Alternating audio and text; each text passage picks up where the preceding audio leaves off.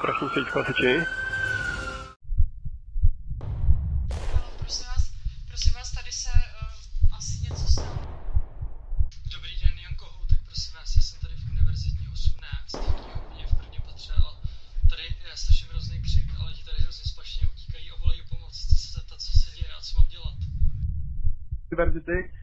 Je tu střelba, uh, vyběhli jsme nahoru, uh, pár lidí proběhlo na střechu.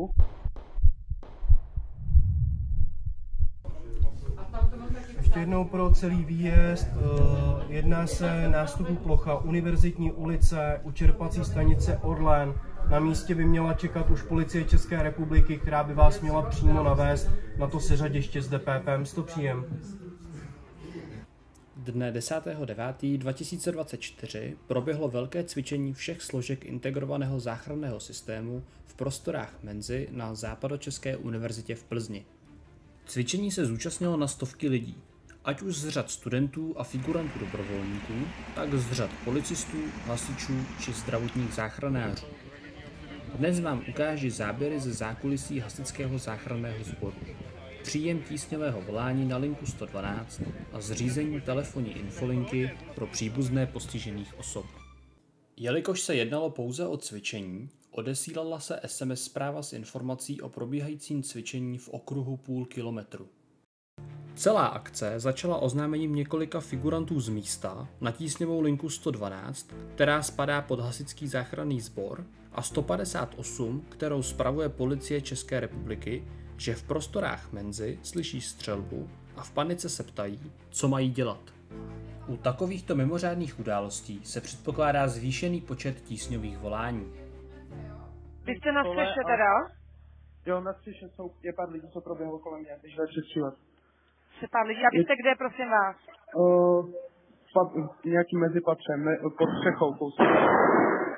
Pod střechou teda v mezipatře, ano? Ano, Jste v ohrožení? ano. Jo. Prosím vás, tak pokud je to možný, tak utečte někam, jo? Do bezpečného prostředí. A jestli to není možné, tak se někde zabarikádujte. Obdrželi jsme také několik tísňových SMS zpráv od lidí, co nemohli mluvit.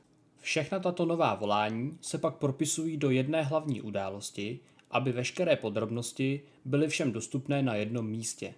Do tohoto systému vidí a mohou psát všechny složky IZS. Po přijetí prvních volání jsme okamžitě vyrozuměli operační střediska záchranné služby i policie, se kterou jsme okamžitě začali řešit nástupní plochu pro naše jednotky. Potřebovat máte nějakou nástupní plochu nebo připravený?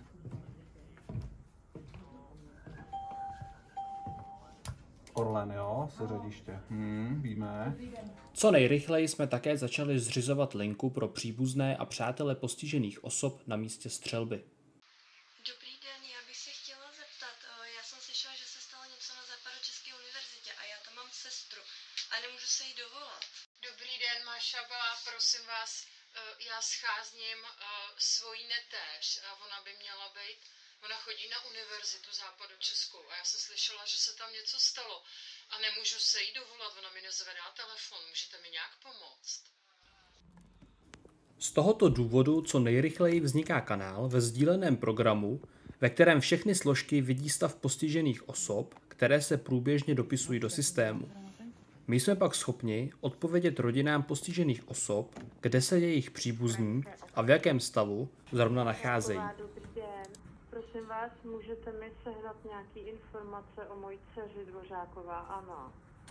Ona byla v prostoru té uh, události na západu České univerzitě a já si ji nemůžu dovolat. Vydržte chvilinku, já se kouknu do systému, jestli už Jo, jo, konkrétně k ní budeme mít informace. Na místě skutečně byla zraněná, ano, a momentálně byste ji našla ve fakultní nemocnici uh, Lochotín. Takže blížší Jo. informace vám poskytnou tam. Takže si zavolám do fakultky. Ano, vydržte chvilinku, nadiktuju, vám číslo. Super, tak já vám děkuji, já si tam zavolám. Mhm, naschledanou. Předáním těchto informací a předáním na příslušnou nemocnici naše práce končí. Společně jsme si prošli celou událost od začátku do konce. Od prvotních volání z místa události, předání těchto hovorů na další složky IZS, přes vyslání prvních jednotek na místo, odkazování lidí na infolinku, na její chod opět přidávají informace všechny složky, až po odkázání příbuzných na příslušnou nemocnici. Toto všechno musí fungovat precizně a bez chyby. Tato událost byla jen cvičení. Ale nikdo nevíme, kdy se to může stát doopravdy. Proto jsme neustále připraveni.